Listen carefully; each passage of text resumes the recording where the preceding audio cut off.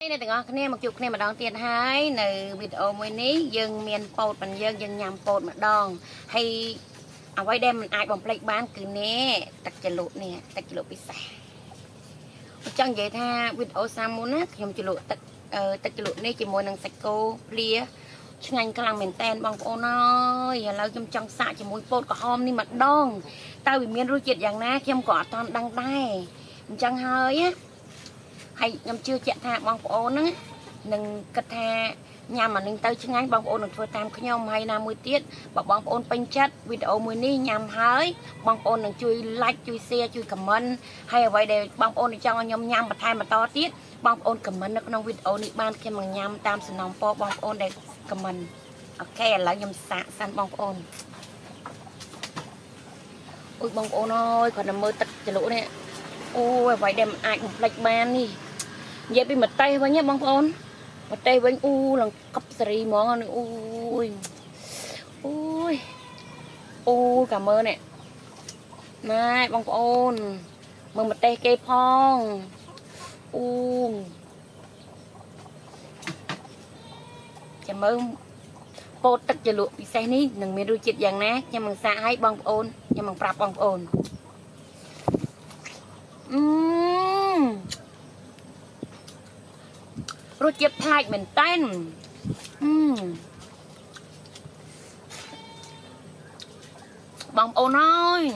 ស្រាប់តែគេធ្វើទឹកលក់ផ្សេងកំភ្លេចបងប្អូនទឹកលក់នេះខាញ់ខ្លាំងមែនតែននេះអឺខាញ់ខ្លាំងណាបងប្អូនអើយនេះយើងដាក់ឲ្យដល់ចំក្រហមក្លឹមអីយ៉ាងមកអូយហូយអឺអឺឈ្ងុយខ្ទឹមក្រហមណា គឺខ្លាំងពិសេសខ្លាំងមែនតើនេះអូយបងប្អូនអើយអឺ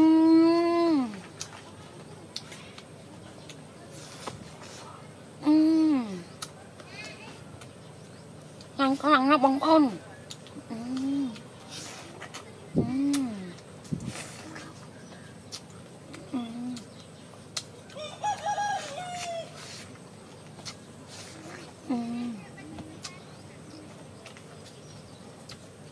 អូ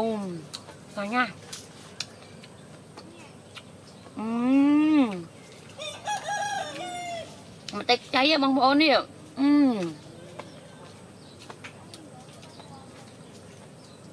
ខាញ់ខ្លាំងណាអឺតែអំបិលតែគាត់ញ៉ាំអំបិលតែតែខ្ញុំមិនញ៉ាំទឹកលក់នេះអឺ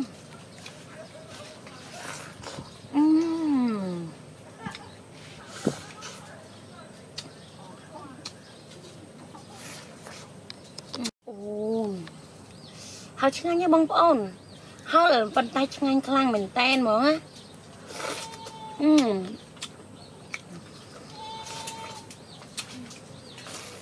អឺជាតិអាចង់និយាយថាពោតនឹងអមិញញ៉ាំ5 6ឥឡូវខ្ញុំញ៉ាំអស់ហើយបងប្អូនអើយថាប៉ុណ្ណឹងអែតហើយអឺ បងប្អូនអើយអ្វីដែលมันអាចបំភ្លេចបានពីទឹកជ្រលក់នេះអាន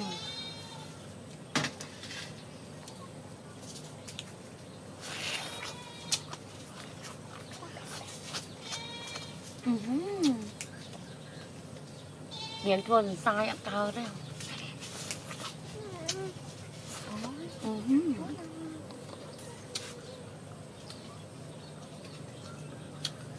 តែបងណាខ្ញុំថាពោតហ្នឹងខ្ញុំញ៉ាំតអស់តែលើអត់អស់ទេផ្អែតហើយអស់4ហើយបងប្អូនអឺឥឡូវបើបងប្អូនណាពេញចិត្តវីដេអូខ្ញុំណាសូមជួយ like ជួយ share ផងហើយណាមួយទៀត comment បងប្អូនខ្ញុំនឹងធ្វើវីដេអូតទៀតឲ្យបងប្អូនមើលគ្រាន់តែការកំសាន្តកំដរអារម្មណ៍បងប្អូនណាឃើញខ្ញុំញ៉ាំឆ្ងាញ់ឆ្ងាញ់អីអញ្ចឹងឃើញទៅថាផ្លែកផ្លែកអីចង់ធ្វើដូចខ្ញុំដែរអញ្ចឹងណា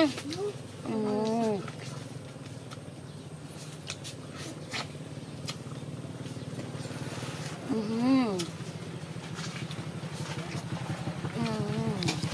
ុំកាច់ពោតជាពីរអញ្ចឹងទៅចំណុកគីឡូនេះទឹកគីឡូមួយនេះអឺបងប្អូនអើយអូយហើយយើងដាក់ចាំមក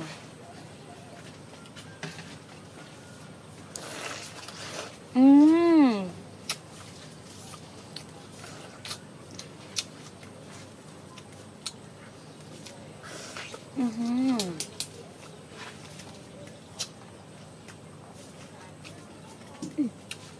ញ៉ាំខ្លាំងណាស់